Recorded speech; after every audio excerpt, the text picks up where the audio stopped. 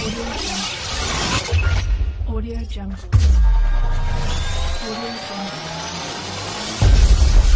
Audio Jungle.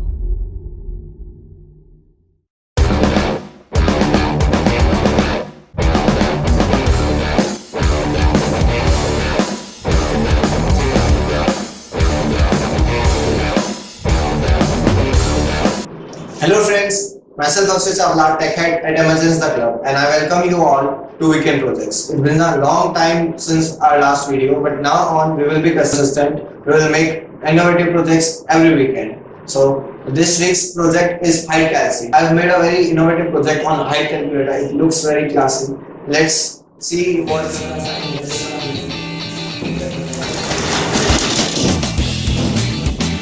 Hello friends, let's start with components. When my friends asked me to build a height calculator, the first thing which came into my mind is uh, we have to measure height or a distance. So there are many sensors available in market for measuring height, but uh, like proximity sensor is there, but it measures in centimeters. There are many uh, sharp IRs, but ultrasonic is the best sensor to measure long distances like six feet, seven feet. So I thought of using ultrasonic sensor, as you can see. This is ultrasonic sensor, and uh, then it uh, I had to display distance. So I thought of using LCD. It will be like easy for coding if I use uh, uh, if I use an LCD. And to merge both of them, I thought of using microcontroller uh, Atmega 328. So I have designed a very good PCB for that. And uh, if you don't know how to design PCB, you can learn it from uh, Weekend Projects has three how to design a PCB. So let's combine and code them. Okay. So as you can see, it's working. Uh, displays in feet, and uh, I have coded it for display in feet.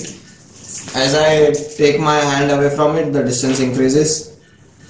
So the only thing that is remaining is now to combine all of them. I can't just say them that uh, stand below it and it will display. Alright, it's kind of funny uh, taking it all. So I thought of combining it in this box. So everything can come inside it. And uh, this thing ultrasonic it has two drums. It looks like two eyes of a robot. And uh, this it looks like mouth. It uh, like uh, it is saying that your height is this much. So i thought of combining it in such a way and keeping uh, batteries and supply everything inside it. So let's do it